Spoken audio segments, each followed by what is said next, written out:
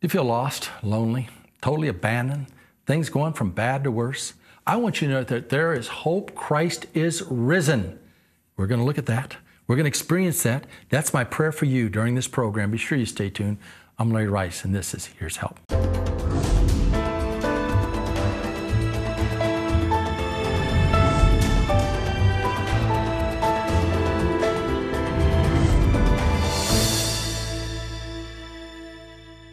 Do you feel like the bottom has fallen out? Things have gone from bad to worse? I want you to know that there's hope. Christ is risen. Brenda, tell us your story. You were homeless, right? Yes, How long were you homeless? about six months. Six months homeless. And all that time you were living out of your truck? Truck at abandoned houses. You were living out of the truck mm-hmm. and abandoned houses. How would you find the house to go live in? Just from driving around. Driving around, and you would see a house, and what? You'd park your truck and go in there and sleep. Mm-hmm. How long would you stay? Just a couple of days. And why would you leave after a couple of days? So nobody would notice. So nobody noticed, and then you go looking for another one? Wow, what did that do to you? Exhausting. It was pretty exhausting. Well, six months. So you started out when it must have been kind of cold, like uh, Wintertime. Uh, like the winter time. You tried to stay warm. Mm-hmm. How did it all come to that? Through losing stuff to my family from probate. Losing stuff of your families, Yes, through probate. probate court, till you finally got nothing. Mm-hmm. This never happened to you before. No. Wow. How'd you keep your faith in the middle of it all? It's the only thing I had. All right. You finally were parking your truck, what, in the Soulard neighborhood? It's, And then what happened? it broke down and What happened to it? the drive shaft fell out. The drive shaft fell out. Mm-hmm. So here it was. How long ago was this? about three months. Three months ago. The drive shaft just fell out of it. And do you remember where it was parked? Over by close to Anheuser-Busch.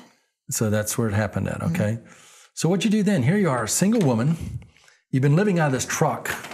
It's the only real possession you had. You had all your stuff in the truck. So what'd you do then? Just they had to tow it and Were you there when they towed it? Mm-hmm. Who, uh, what happened? How did they? Uh, the truck broke down. Somebody come to you? Did you call? Or what happened? I think people complained and then somebody came to tow it. People in the Soulard neighborhood complained. They didn't like you or a truck in their neighborhood. Right. Did these people know you were homeless? Oh, they knew you were homeless. So that's how they want to eliminate the problem is try to eliminate you.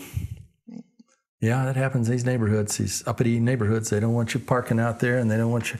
So they towed your truck. Then what happened?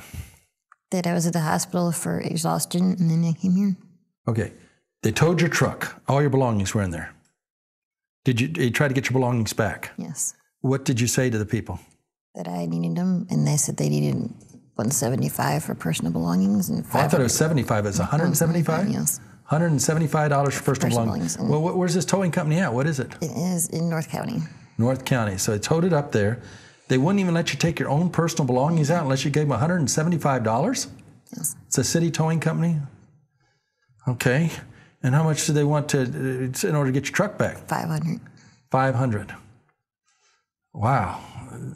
Where's the mercy at in all this? It says, blessed are the merciful, for they shall obtain mercy. Where is mercy in the middle of all of this? Oh, you go to church, you talk about it, you hear about it, but when you get a chance to express it, just get rid of it. Get rid of the people. Something's wrong in the middle of all of that. Blessed are the merciful, for they shall obtain mercy. Totally exhausted. You ended up at the hospital? Yes. Just totally. Two weeks with pneumonia. Okay, you were totally exhausted. Uh, what, what, I mean, how'd you finally end up at the hospital? Did you collapse? Did you? Basically, yes. Where were you at? I was at a friend's house and collapsed, and they called, and I went in. I had pneumonia in both my lungs. Pneumonia in both lungs, totally collapsed. You went into the hospital. Yes. Okay, they had to stabilize you. It's federal law. Mm-hmm. Okay, once they did that, then what happened? I came here. You came here. Did, and, and did they call here, or did you? Yes. So the caseworkers sent you here. Mm-hmm. Brenda, how important is it that caring people out there stand up against the politicians, against the elitists and their condominiums, against the, a library that just doesn't want the homeless around there at all, and a library director, uh, and these uh, developers that want the homeless out of downtown St. Louis, how important is that we keep this work going, we keep sheltering the people, and we keep resisting the attacks of the evil ones? It's extremely important because we all need a safe place to go. We need a safe place to be indoors. And it provides it here. What would have happened to you and all the other people the hospitals are sending here day after day if we hadn't done that? Out of the streets like everybody else that stays outside. Could you have died? Most definitely. Were you getting depressed? Depressed, overheated. Okay. She's here now. It's, how's it offering you hope? Um, making new family. You got new friends? Mm-hmm. People that care about you? Yes.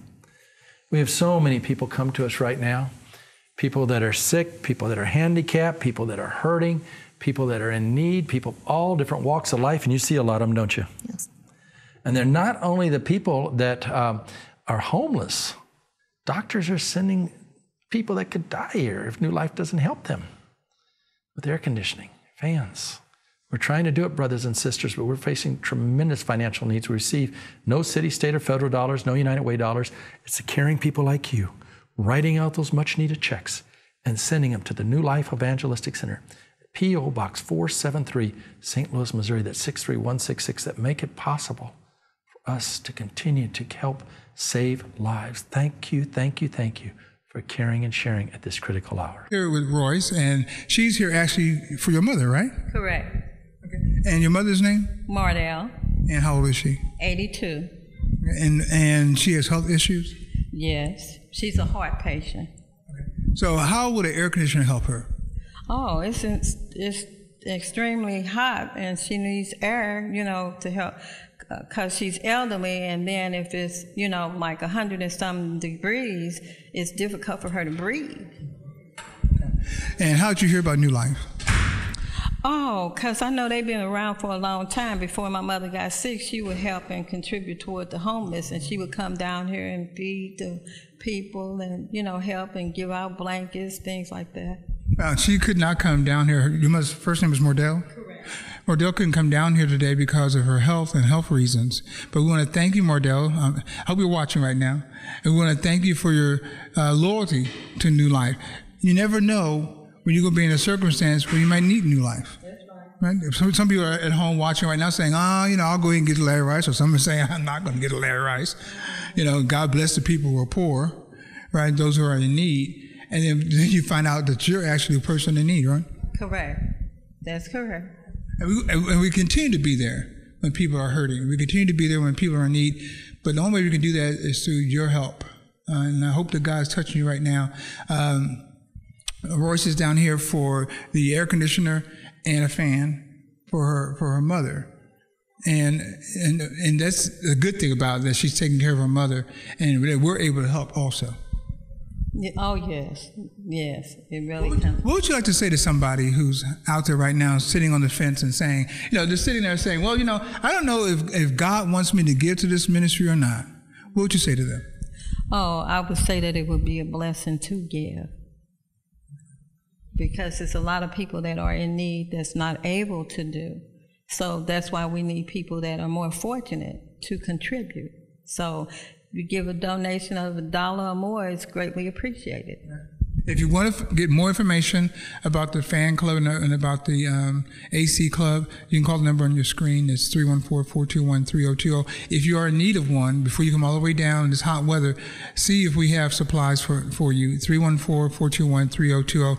It is not our job and not our Christian duty to turn anyone away that comes to the doors of new life. But we need a lot of help. We need a lot of prayer, a lot of support, a lot of donations. And we're counting on you to help people like Royce and also her mother, Mordell. Thank you. Joining me at this time is Marcia Carson. And Marcia is like many that come to us. Uh, she is handicapped and she can't speak. Is that correct, Marcia? Mm-hmm. Yeah, you can't, you can't speak, can you? Mm-mm. Your um, husband is here also. Mm-hmm. And you have a daughter. How old is she? Two years old. Okay. And Marcia, you're 25 mm-hmm. and you love God. Mm-hmm. And you and your family are homeless. Is that correct? Mm-hmm. There are so many families right now that are really hurting. so many that are really homeless, and so many handicapped people have nowhere else to go here except to New Life Evangelistic Center. Is that your situation, Marcia? Mm-hmm. Now, you got involved in a transitional housing program we have here, right? Mm. Has it been helping you? Mm-hmm. It's been helping you, has it? Mm-hmm. That's what we want to do is we just want to help people through the love of Jesus. And we can do it because of all of you that are praying and caring for the poor and the needy by donating to New Life Evangelistic Center at P.O. Box 473, St. Louis, Missouri. That's 63166. And I'm just asking you to pray for us here at the New Life Evangelistic Center as we're trying to help so many people that are suffering and in need. It's getting hotter and hotter and hotter, and we're finding more people coming to the doors of New Life asking for fans, asking for air conditioners, such as one uh, Reginald. Yes, sir. Yes, sir. I came to New Life because uh, my neighbor was telling me that uh, you guys were helping with uh, air conditioning and uh, and fans as well. Um, I really appreciate the service you guys are doing because uh, I'm really in need right now. Uh, I'm retired and disabled, so I really do need the assistance.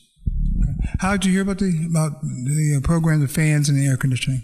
Well, my neighbor he informed me that you guys, he must have heard on the news uh, that you guys were giving out uh, air conditioning units and uh, fans, and he told me I really need to come down and apply because he know I have different medical issues. So the, the fans and air conditioners will help you medically? Oh, absolutely. Yeah, because it's been like, uh, you know, 100 degree temperatures and, and it's even hotter inside my home. So, um, and it's been very uncomfortable not having air conditioning and all I have was one fan. So I really do need the assistance. And we're glad you came down the time you came down, Reginald, because we have limited funds concerning fans and air conditioners. We'll try to help anybody who comes through our doors, but it is limited, and we really, really need donations. Uh, donations uh, towards the fan club to get new fans, and donations also towards air conditioners to help those individuals like Reginald who, who needs help right now. Um, would you advise other people to come to New Life? Oh, absolutely. Uh, if I know of anyone elderly or who have any kind of medical conditions, I will definitely uh, inform them and tell them that the assistance that you guys are providing. Uh, what are some of the medical conditions you have that you have to have an air conditioner? Well, I have uh, stents and uh, hypertension and diabetic. Yeah, diabetes, I'm sorry.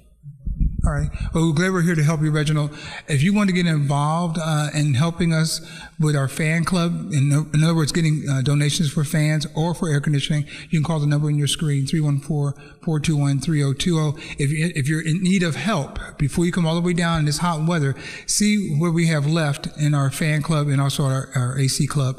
Uh, call the number on your screen, also 314-421-3020. Let them know you're in need of a fan or air conditioner, and we'll see uh, what we have left. We're hoping on the goodness of those who are watching right now and those who are praying for new life that you will give to those two different organizations, the fan club and the AC club, so we can continue to help people like Reginald and others too. Thank you, thank you, thank you for praying for us at New Life Evangelistic Center and making it possible for help, us to help people that are hurting and getting involved in these life and death situations. At New Life Evangelistic Center, we give people a hand up, not a handout helping able bodied men to use their gifts, their talents, and their abilities to work to change their situation. But in the meantime, they need a place to sleep. Is that correct? Yes, sir. Tell us your name. Brandon Rice. And Brandon, how important is it that you have a place that you can stay here? Um, it's important to me because I can get my life on track and, you know, do what I was supposed to do. You can get your life on track. Yes, sir. Doing what you got to do. Yes, a lot of women and kids around here and there. Yeah, no. Uh, so many of them that are hurting and homeless, right? Yes, sir. And they're, they're coming to us at New Life Evangelistic Center, as well as men that we're trying to break the cycle of homelessness for. They need a place to stay, a place to get their lives together, an opportunity to find that job. Yes, sir. And he's homeless, and we're trying to help him, but he's not alone, and the situation is not hopeless. You know that, right? Yes, sir. And we're trying to help them at this moment. So I'm asking you to please pray for us here at the New Life Evangelistic Center a lot of need at this time, a lot of desperate situations. I got another one in store for you. But first, I want to go back now and I want you to hear from another elderly person, another sick person that the doctors are sending to us. So many people in need. I'm asking for prayers. It can seem overwhelming at times, but God is in control. Thank you for catching a vision. Thank you for caring. Thank you for sharing. It's New Life Evangelistic Center, P.O. Box 473, St. Louis, Missouri. That's 63166. Please get involved and please do it right now. I'm talking to Brenda, and Brenda, can you tell us how important it is to get this fan today? Oh, it's hot outside inside in my house, and I'm disabled.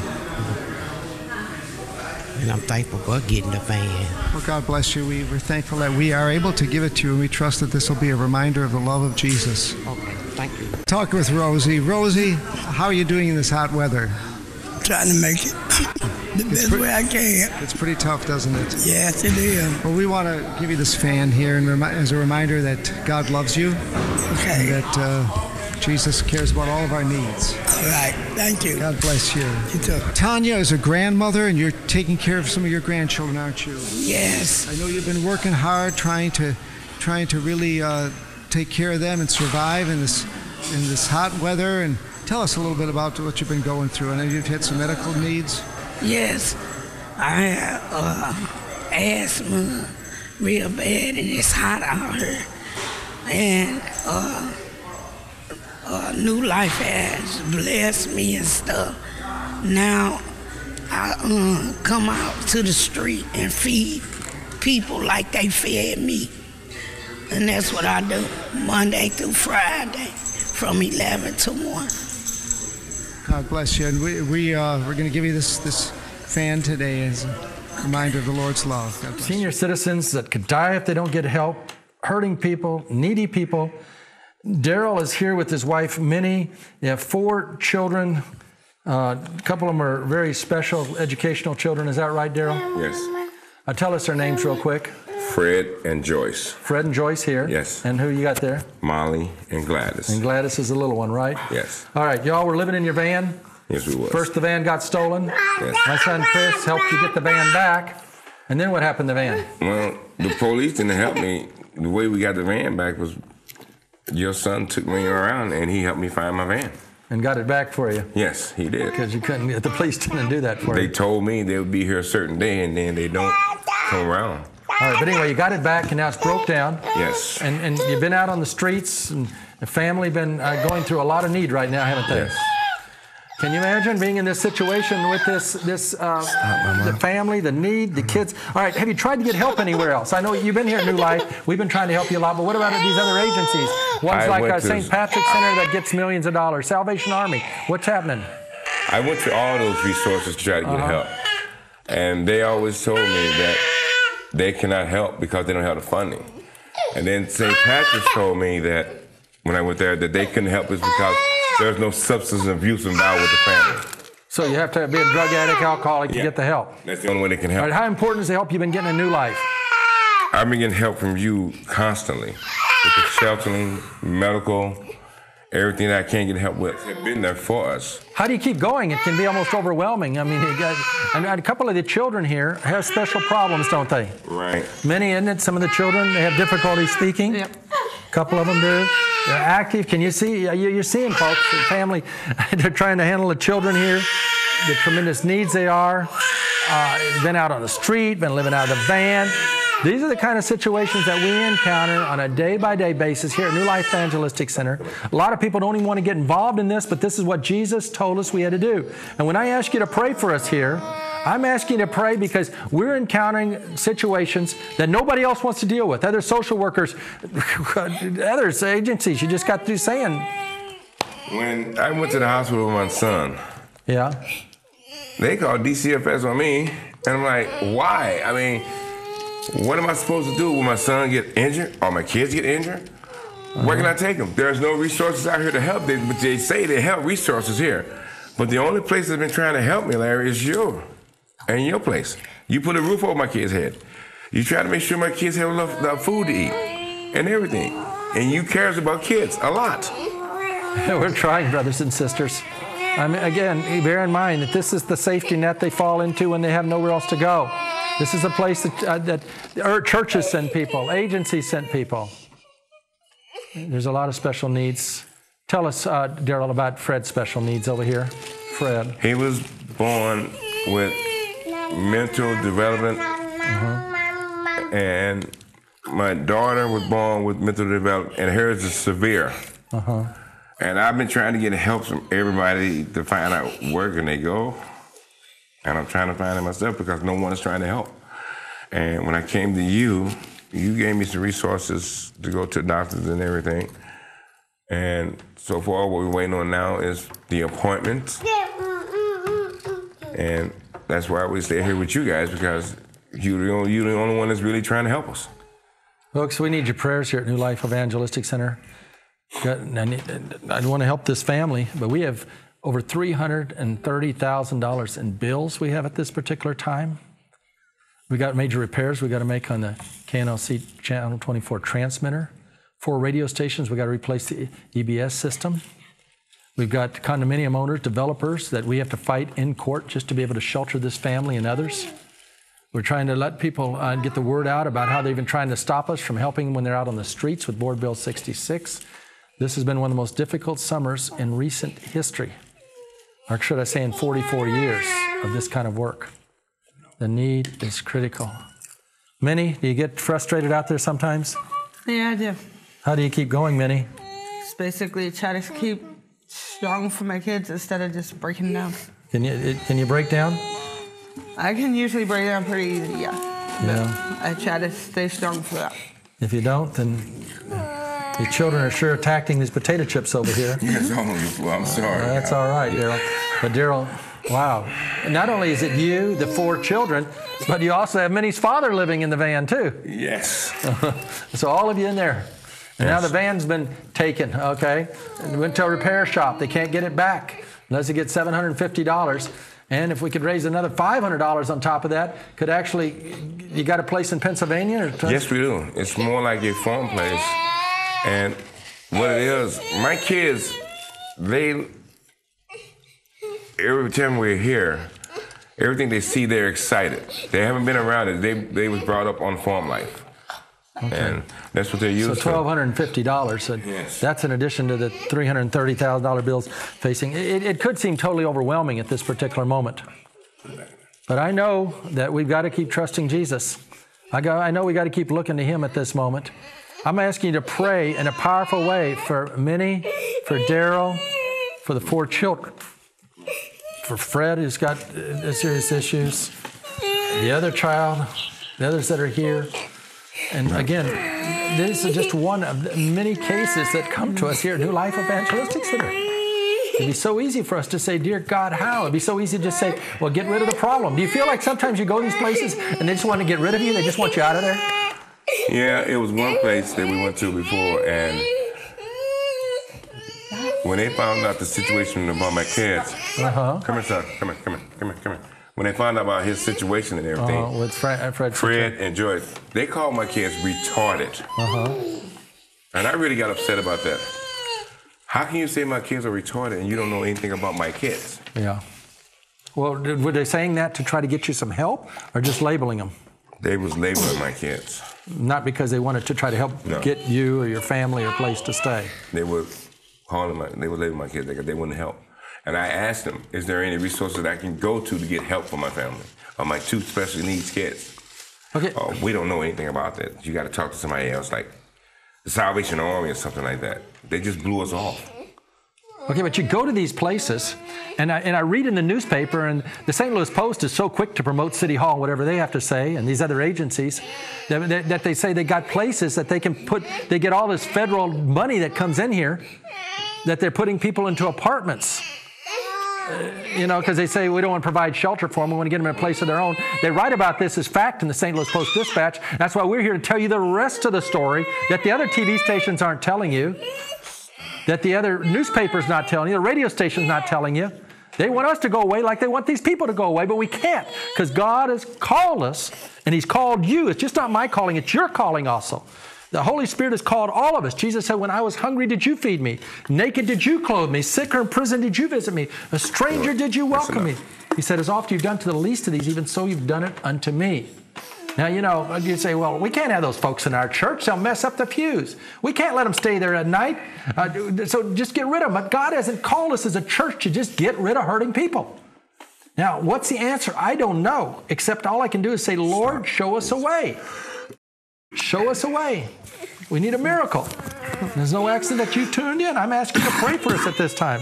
I'm asking you to believe God with us at this time. These children are in need. Fred, it's all right.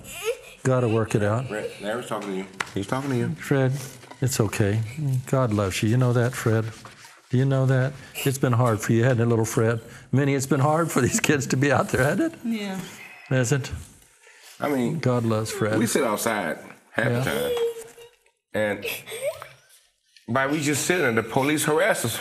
The police harass you. How do the police harass you? Let me see your ID. We could just be sitting there, Yeah. And they come up and look at our ID, and they want to know if you have a warrant. Okay, I'm from Pennsylvania. I don't have no warrant here. So why are you harassing me? Mm-hmm. Well, we have proper calls about people. Hey, okay, you guys been sitting, sitting us, seeing us sitting here on the street all the time. So now you want to come up to us when my van is gone and harass us. That's because these uh, people live in these $1,100, uh, $1,200 a month condominiums look out their window and they don't like to see it. Don't make downtown St. Louis look good. And it's not just St. Louis. They do the same thing in Springfield, Missouri. They do the same thing in these other communities over and over and over. But, you know, this is what Jesus told us to do. We've got to do it. These kids are hurting. This family's hurting. this is in addition to the need for the air conditioners, shelter repairs, uh, spending dollars on legal fees just to try to give them a place to sleep at night. This is the world we live in at this time and fighting uh, bills to, like Board Bill 66, uh, this board bill that would make it a crime for us to give them anything out on the streets. That's what I hate. $1,250. That's, that, that's just to take care of this family. And that can seem overwhelming because we got so many right now. So many in need. We're just letting this play out in front of you. See what they're, I mean, you've seen for about 12 minutes here, just a little bit of what's in action. They come into the day center. Our staff there have to exercise a lot of patience because the kids are, they, they're living in a van. They all try, try to put them all to sleep in the van. The van's now, uh, they need $750. And if they don't come up with that right away, they're going to start charging them a storage fee. And the children need help right now. What does he want? Does he want your mic? He wants the mic. Okay, well let let him hold the mic there. There you go. Now you can have the mic. Okay, that's what Fred wants the mic. Okay, Fred. not Now you got the mic. All right, Fred has the mic now. So No, see- you're not getting mine. so I ask you to pray for us here at New Life. Uh, Our staff need your prayers. Uh, the trials and the tribulations are on a daily basis. Hey, thank. God is a miracle working God. That's right. And that's Fred, and this is Joyce, Joyce. Hi, Joyce. And Molly, Molly. And the little one over there, Gladys. Gladys. All right. All right. Well, I'm going to keep everybody in prayer here. Daryl, again, uh, how do you keep on day after day? There's only one way I have the strength. And I just gotta humble myself. And I talk to God. And the only place I have is your place, Larry. That's all I got. And the only way I can keep on going, I mean, yesterday I had to go on a prayer walk. I have to do that almost every day. Just had to cry out to God. I mean, I see the needs here that are overwhelming and hurting people with nowhere else to go. To lay out to them like $350,000 in bills now Let me get you some. and other repairs that need to be made and things done and need Come for on, a half a million dollars. Come on, come on, come on. This, this case is going to be twelve hundred fifty dollars. You know, seven fifty get their van out, five hundred for gas and tries to get them there. God's a miracle working God to get them settled there, but I'm asking for your prayers at this hour. It's been one of the most difficult summers. Sick people, handicapped people, hurting people, people that nobody else wants to deal with. All to the New Life Evangelistic Center here P.O. Box 473, St. Louis, Missouri, that's 63166. Jesus said, Let your light so shine before men and women, they may see your good works and glorify your Father who's in heaven. I'm asking you to believe God with us for a miracle right now. I'm asking you to just let God's light and love flow in you and through you. Will you trust the Lord at this moment? Will you let His light and love flow in you and through you? Jesus said, Let your light so shine before men and women they may see your good works and glorify our Father who's in heaven. Oh, I need a miracle at this moment here at New Life Evangelistics, and I need your prayers. It's P.O. Box 473, St. Louis, Missouri. That's 63166.